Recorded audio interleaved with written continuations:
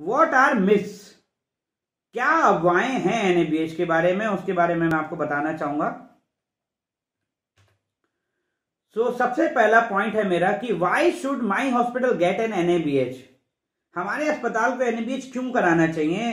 सब बहुत कॉमन लोग कई बार मैं भी जब मार्केट में लोगों से मिलता हूँ नए नए अस्पतालों के मालिकों से मिलता हूँ तो वो सबसे पहले ये पूछते हैं मुझसे कि यार मेरे को अस्पताल एनएबीएच कराना ही क्यों है? क्या ज़रूरत है ऐसे कराने? क्या फ़ायदा होगा मेरा? तो सबसे पहला कंफ्यूजन जो है वो ये है। तो उसका जवाब है कि अगर हाँ आपको कराना चाहिए, क्यों? सबसे पहला कि बेटर पेशेंट केयर के लिए मरीज़ की अच्छी देखभाल होगी। अगर आपका स्टाफ ट्रेंड होगा एनएपीएच पैरामीटर पे होगा, आपका एम्प्लॉय ट्रेंड होगा, ठीक है, आपके यहाँ सारे स्टैंडर्ड फॉलो हो रहे होंगे तो बेटर पेशेंट केयर हो रही होगी फोकस्ड होगी। ठीक है, आज की डेट में जो भी पेशेंट केयर हो रही है, हो तो आज भी रही है, लेकिन वो फोकस्ड नहीं है। ना तो उसे कोई चेक करने वाला है, ना तो उसे कोई देखने वाला है। आप देख रहे हो तो प्रॉपर मॉनिटरिंग नहीं हो रही है। मैं नहीं मानता प्रॉपर मॉनिटरिंग हो रही है। Then to set a benchmark again the best practice अगर आप एक बेंचमार्क सेट एनएबीएस कराते हो तो आप बहुत सारी चीज़ों के अगेंस्ट में एक बेंचमार्क सेट करते हो। आप अपनी चीज़ों को इवेल्युएट करते हो और अपने आप को इवेल्युएट करते हो कि आज मैं इस हद तक चीज़ों को ले आया हूँ। इतना इंप्रूवमेंट आ गया है। तो so, मुझे नहीं लगता औरों के लिए एटलीस्ट आपको खुद के लिए भी अपने एनएबीएस पे फोकस करना चाहिए। Then recognition at national level higher name and fame जैसे ही आप अस्पताल एनएबीएच हो जाता है आपका तो आप नेशनल लेवल पे आपकी नाम उस लिस्ट में एड ऑन हो जाता है और आप कहीं ना कहीं एक नेम और फेम के साथ में आप प्राउडली किसी को भी बताते हैं हाँ मेरा अस्पताल एनएबीएच है। सो इट मीन्स के अंडरस्टूड कि आपका अस्पताल में क्वालिटी और स्टैंडर्ड फॉलो होता है। देन हायर फुटफॉल ज़्यादा से ज़्यादा मरीज़ आएँगे क्योंकि ढेर सारी इंश्योरेंस कंपनीज़ गवर्नमेंट एजेंसीज और अदर एजेंसीज आपके अस्पताल को रिकॉग्नाइज करेंगी और ये मानेंगे कि आपका अस्पताल एनएबीएच स्टैंडर्ड फॉलो करता होगा तो इसलिए आपका फुटफॉल भी बढ़ेगा। Then help in propagating medical tourism medical tourism को लेके आपको फोकस होगा और आप लोग इंटरनेशनल पेशेंट को भी एक्सेप्ट कर पाएँगे। Higher satisfaction of employee employee का सेटिस्फेक्शन लेवल बढ़ेगा, क्योंकि कहीं ना कहीं जो रूल्स एंड रेगुलेशन एनएबीएच ने एम्प्लॉयज़ के लिए बनाए हैं, वो भी फॉलो होंगे। तो हो सकता है शायद आज ना फॉलो हो रहे हो। Sense of pride for the employ employ के लिए एक प्राइड वाला मूवमेंट होता है, जो कि आप बोल सकते हो जब आप एक ऑर्गेनाइजेशन से दूसरे ऑर्गेनाइजेशन में जाते हो तो आप बताते हो कि, सर, मैं एनएबीएच अस्पताल से आया हूँ, और मेरे अस्पताल में एनएबीएच के सारे स्टैंडर्ड फॉलो होते हैं। Then next question it is too expensive बहुत अरे ये तो बहुत खर्चे की बात है। तो बहुत खर्चे वाली बात है। अरे यार मैं नहीं कराना चाहता। ये तो बहुत ही ज़्यादा खर्चा हो जाएगा। सो so, मैं उनके लिए एक जवाब देना चाहता हूँ और मैं आप सबको इसलिए ये सब पढ़ा रहा हूँ कि as a manager as a management representative as a quality representative आप सबको इन सवालों का जवाब पता होना चाहिए। Then the first answer is first impression may be the same but analysis prove the otherwise आज के डेट में आपको लगता है कि ये कॉस्टली है, लेकिन जब एक बार एनएबीएच स्टैंडर्ड को आप इंप्लीमेंट कर लेते हो तो आपको समझ में आता है कि आपके अस्पताल में क्या कमियाँ थी और क्या सुधार हो गए हैं। Then benefit outperform the expense जब बेनिफिट दिखाई देते हैं तो आपको एक्सपेंसेस कई बार वो इग्नोर होते दिखाई देते हैं कि अरे नहीं मेरी क्वालिटी सुधर गई है, थोड़ा बहुत अगर पैसे खर्च हो रहा है तो कोई बात नहीं। Then quicker turnaround time for patient leading to higher return बहुत बार ऐसा होता है कि पेशेंट जब इस तरीके की एक फीलिंग लेके जाता है कि आपका टर्न अराउंड टाइम बहुत कम है। पेशेंट का वेटिंग टाइम का डिस्चार्ज का सैंपलिंग का तो उन्हें लगता है कि नहीं यार, वो अस्पताल अच्छा है। जल्दी जाता हूँ, जल्दी काम हो जाता है और फटाफट सब कुछ हो जाता है। तो मुझे वहीं जाना चाहिए। तो रिटर्न ज़्यादा आने लगते हैं। ज़्यादा चीज़ें होती क्योंकि आप इसी मजबूरी में करते हो, क्योंकि एनएबीएच उस चीज़ पर फोकस करता है कि आप अपना टर्न अराउंड टाइम कैलकुलेट कीजिए और हर बार एनालाइज करिए। Then reduce infection and readmission leading to reduce cost of patient care कहीं ना कहीं अगर हमारे अस्पताल में इन्फेक्शन फ्री एनवायरमेंट रहेगा तो और ज़्यादा से ज़्यादा री एडमिशन नहीं हो रहे होंगे। री एडमिशन इस वजह से कि उस मरीज़ को जो समस्या थी, वो समस्या भी खत्म नहीं हुई है। वो वापस उसी मरीज़ जो डिस्चार्ज होकर चला गया तो वापस उसी कमी के साथ में वापस आ गया। ये किसी और प्रॉब्लम के साथ में आ गया, जो कि उसकी वजह से हो गई है। तो कहीं ना कहीं मुझे लगता है कि आपका इन्फेक्शन रेट डाउन होता है अगर आप एनएबीएच स्टैंडर्ड को फॉलो करते हो और आपका री एडमिशन के नंबर कम होते हैं। और इसके साथ साथ पेशेंट की कॉस्ट भी कम होती है। It is difficult to exercise for us to achieve बहुत सारे लोग ये कहते हैं कि हमारे लिए तो बहुत ही मुश्किल काम है ये, और हमें नहीं लगता कि हम एनएबीएच करा पाएँगे। तो मेरा उन सब के लिए जवाब है नो आप गलत सोच रहे हैं। आपको बस पॉजिटिव एटीट्यूड की ज़रूरत है और थोड़ा सा चीज़ों को खुद से सीखने की ज़रूरत है। ज़्यादा देन दूसरों पर डिपेंड होना इट्स बेटर कि खुद से फोकस करना। सो so, मुझे लगता है कि सबसे पहला पॉइंट है it is more of an attitude related problem आपको ऐसा खुद से लगता है ये एटीट्यूड रिलेटेड प्रॉब्लम हो सकती है ना कि ये एक इंडिविजुअल की प्रॉब्लम हो सकती है ना कि सबकी पूरी पब्लिक की problem then India we as a rule do not like change हम कई बार ऐसा क्या होता है कि हम बहुत लोग ऐसा फील करते हैं कि जो हमने सोच लिया है वही सही है और कुछ सही नहीं है। So don't make our own own rule so be focus and इस चीज़ पे ज़्यादा ध्यान दीजिए कि लोगों के साथ साथ आप किस तरीके की चीज़ों पे फोकस कर रहे हैं। मुझे then lack of appreciation knowledge about accreditation कई बार लोगों को पता ही नहीं होता है कि एनएबीएच के क्या फ़ायदे हैं और किस तरीके से उसे इम्प्लीमेंट किया जा सकता है। सो so, ना तो वो उसको बारे में सीखना चाहते हैं ना तो वो समझना चाहते हैं और सीधे सीधे ये बोल देते हैं नहीं नहीं तो हमारे बस का ही नहीं है. तो मुझे लगता है कि ऐसे लोगों को थोड़ा सा अपने एटीट्यूड चेंज करने की ज़रूरत है।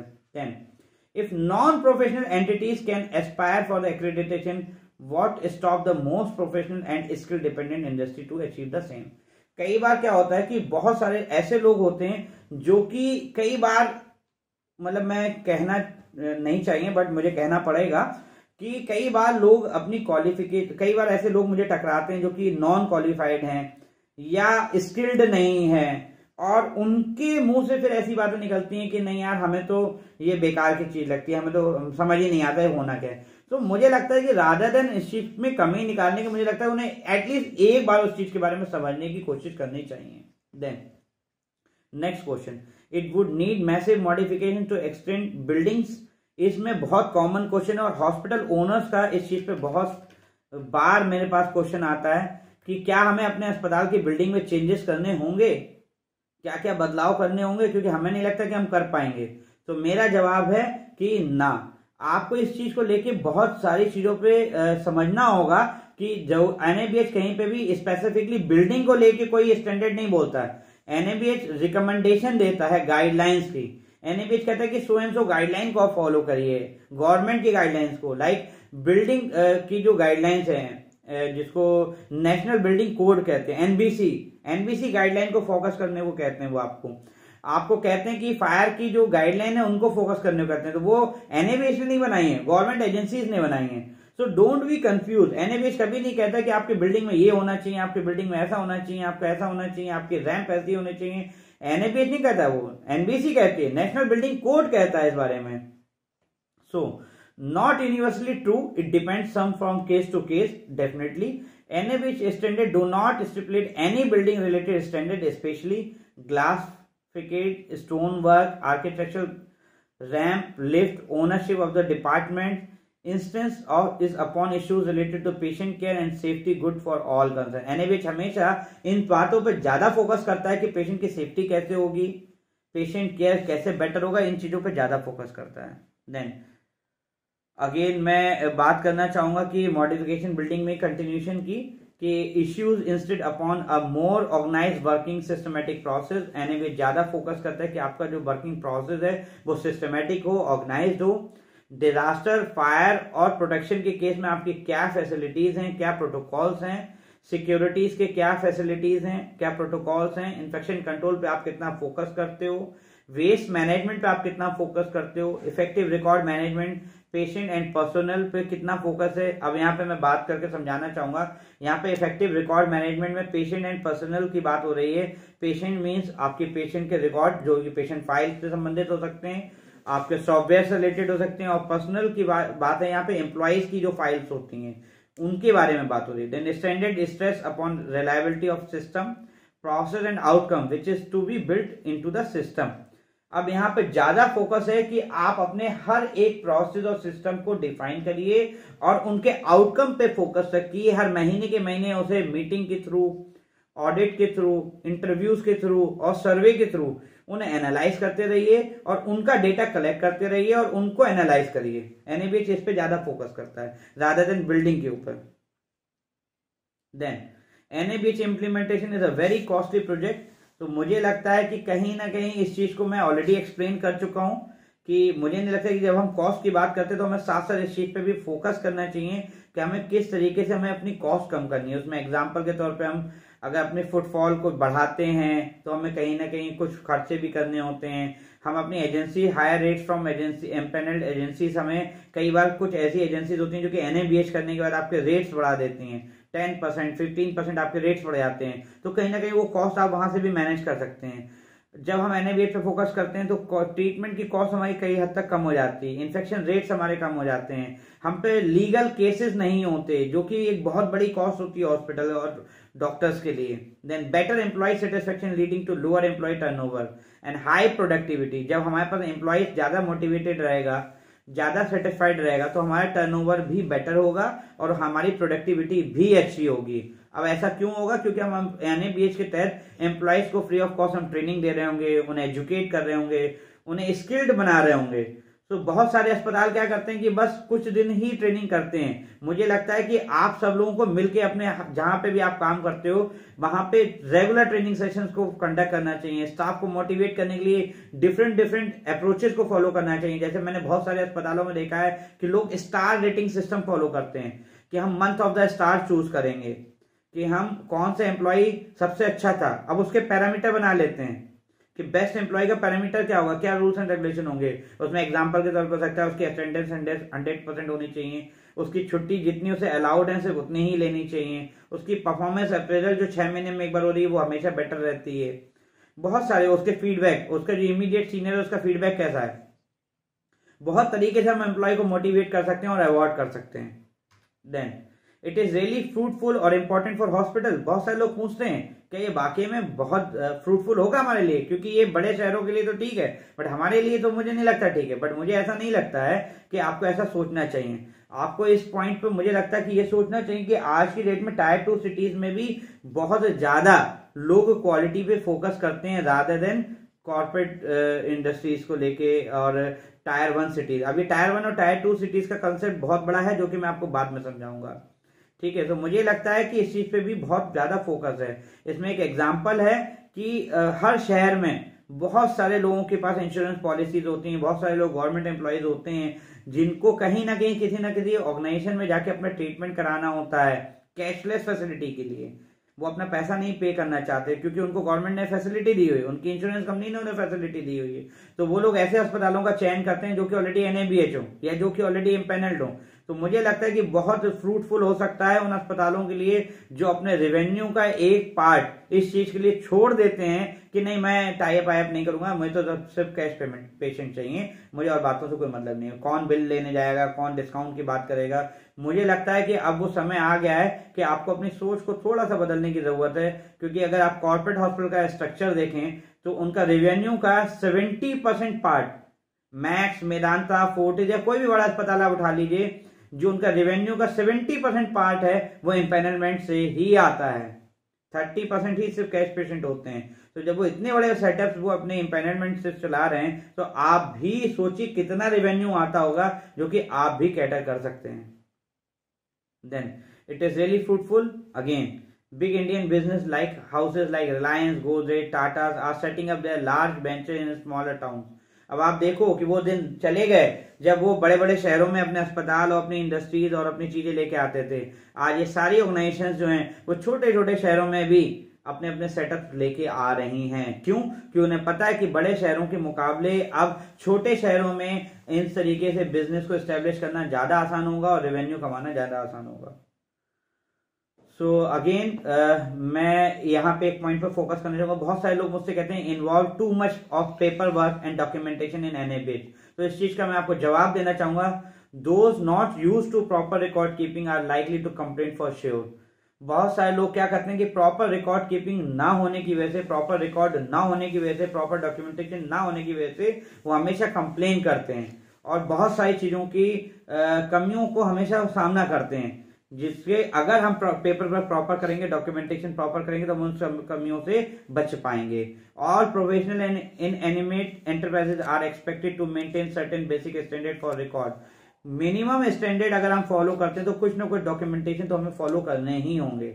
A sector like health care delivery need it all the more specially in today scenario मुझे लगता है कि अगर आप एनएबीएच ना भी कराएँ ना तो भी बहुत सारी लीगल ऑर्गेनाइजेशंस की बात करें लीगल ऑब्लिगेशंस की बात करें, जिनकी वजह से हमें बहुत सारा कागज़ी कार्रवाई करना ही होगा, चाहते हो, ना चाहते हुए। तो राधा देन हम उस चीज़ पर फोकस करें, मुझे लगता है अब एनएबीएच की तरफ़ आपके, आपको आगे बढ़ना चाहिए और आपको एनएबीएच के बारे में समझना चाहिए। अगर आप एनएबीएच कर लेते हो तो आपकी सारी रिक्वायरमेंट पूरी हो जाती हैं, हर एक तरीके से। So today's patient is well inform proper and मुझे लगता है कि पेशेंट के पॉइंट ऑफ़ व्यू से अगर मैं यहाँ पे आपको स्पेसिफिकली बताना चाहूँ तो आज की डेट में जितना आप सोचते हो, उतना पेशेंट कहीं ज़्यादा स्मार्ट है आज की डेट में। वो सब अच्छे से समझते हैं कि एनएबीएच का क्या मतलब है। अगर आपके पास सर्टिफिकेट है तो आपको मिनिमम स्टैंडर्ड फॉलो करना ही चाहिए। तो कई बार अस्पतालों में ऐसा होता है कि एनएबीएच का सर्टिफिकेट तो लगा है, लेकिन वो स्टैंडर्ड फॉलो नहीं कर रहे तो कई बार ऐसा हुआ है कि पेशेंट ने भी कंप्लेंट की है एनएबीएच को। मेरे पास कई अस्पतालों का ऐसा डेटा है जिन अस्पतालों की कंप्लेंट हुई और बाद में उनका सडन इंस्पेक्शन किया गया जिसमें यह पाया गया कि वो प्रॉपर पेपर पेपर वर्क नहीं कर रहे थे। तो मैं आप सबको ये चीज़ सिखाना चाहूँगा कि जब कभी आप एनएबीएच को फॉलो करते हैं तो हमेशा के लिए फॉलो करें राधा देन एक स्पेसिफिक टाइम फ्रेम के लिए। आ, मुझे लगता है थोड़ा सा एक पॉइंट पे मैं यहाँ फोकस करना चाहूँगा कि हमारे कई बार हमें ये चैलेंज आता है कि हमारे जो सीनियर डॉक्टर्स होते हैं, वो एग्री नहीं करते एनएबीएच इंप्लीमेंट करने के लिए। तो यहाँ पे मैं एक पॉइंट मैंने कुछ पॉइंट्स बनाए जो कि मैं आपको बताना चाहूँगा। A mindset of medical fraternity what is being done is okay मुझे लगता है कि हमें उनके साथ में इस तरीके से एक्सप्लेन करना चाहिए, उन्हें एक बार कम्युनिकेट करना चाहिए कि, सर, कि जो हम कर रहे हैं वो ठीक है, सही है, आप चाहें तो उसको चेक कर लीजिए और जैसा आप कहेंगे वैसे उसके हिसाब से उस चीज़ को भरेंगे राधर देन फेक भरने के। तो मुझे लगता है उन्हें एक बार बस एक बार कॉन्फिडेंस में लेने की ज़रूरत है, उन्हें सही बात बताने की ज़रूरत है, वो आपके फेवर में आ जाएँगे। What is wrong what we do why should I do what you say ऐसे कई बार आपके सामने क्वेश्चन आएँगे तो आपको उसका जवाब के लिए तैयार रहना है। अब ये सब क्यों करना है? For a better life comfortable level have to be change हमें जब भी कभी हम कोई नया बदलाव लेके आते हैं तो हमें हमेशा अपने कंफर्ट जोन से बाहर आना होता है। चाहे वो घर में कोई बदलाव हो, चाहे वो आपके ऑर्गेनाइजेशन में कोई बदलाव हो, जब भी कोई बदलाव आएगा तो हमेशा आपको कुछ ना कुछ कंफर्ट जोन से बाहर आना होगा। तो अगेन जब हम एनएबीएच की बात करते हैं तो जब हम कभी किसी को बोलते हैं कि सर, ये कागज़ भर दीजिए तो अगेन ये समझना होता है कि उनको लगता है कि यार, ये काम मेरा थोड़ी है। तो फिर नए नए एक्सक्यूजेज देना शुरू करते हैं। फिर कहते हैं ये काम तो आरएमओ का है, ये तो काम इसका तो ये आपको देखना होगा कि आपको उन्हें कैसे फैसिलिटेट करना है। As a NABH coordinator as a quality manager आपको ये ज़रूर देखना होता है।